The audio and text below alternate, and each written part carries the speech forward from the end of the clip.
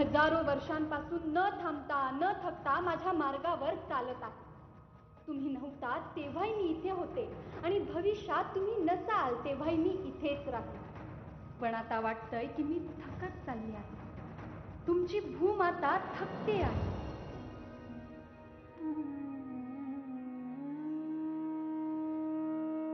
रासायनिक खतांचं विष पाण्यात आणि हवेत मिसळत आहे.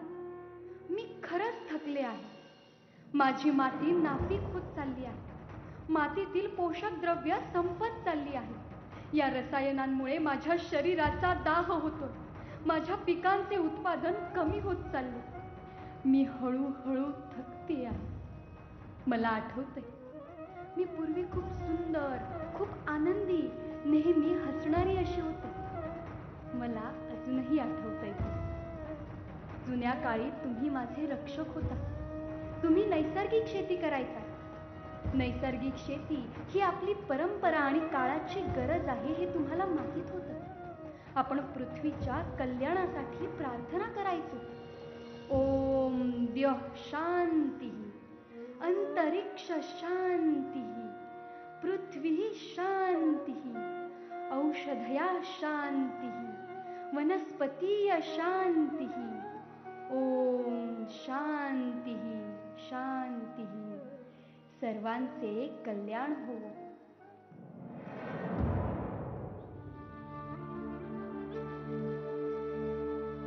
नद्या जंगले झरेनी पर्वत यांना जपा सांभाळुनी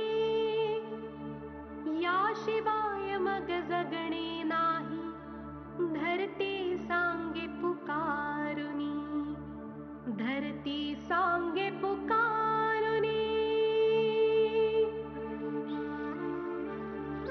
अवेळी हा पाऊस पडतो. कधी माती नापिक करतो. मग तप्त होनी ती गरजो लागे. वाचवूया धरणी. वाचवूया धरणी. हजारो वर्षांपासून माणूस माझ्या कुशीत जगत आहे. मी तुम्हाला सर्व काही दिलं. पण मी आज तुम्हाला विचारते की तुम्ही तुमच्या मातेला काय दिलं?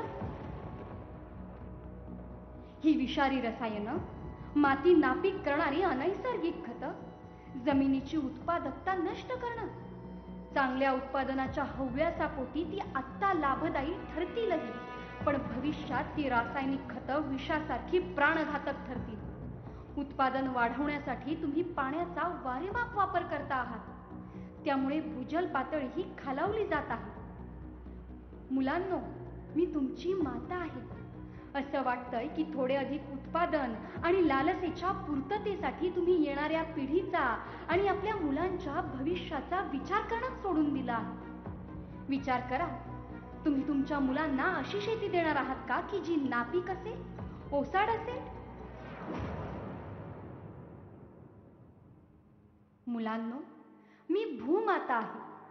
माझ्या नावातच सामावलं आहे मातृत्व. अन्नदाता माझ्या शेतकरी मुला हे करताना तूच तर माझ्यासोबत होतास. रात्रंदिन घाम गाळून प्रत्येकाला तूच अन्न देऊन तृप्त केलं. जेव्हा तू मला वंदन केलंस तेव्हा हिरवा शालू नेसून मी प्रफुल्लित झाले. माती नापीक होण्यानं सर्वांचंच किंबहुना मानव जातीचं नुकसान होणार आहे. माझी श्वास श्रृंखला तुटली तर विस्कळीत होईल सर्व जीवन आणि नष्ट होईल प्रत्येक अमृतमयी कण कण.